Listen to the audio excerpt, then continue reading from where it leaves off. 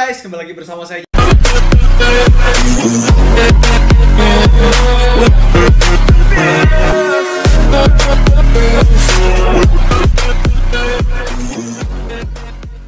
Udah subscribe belum? Kalau belum ya subscribe lah dan jangan lupa nyalakan loncengnya.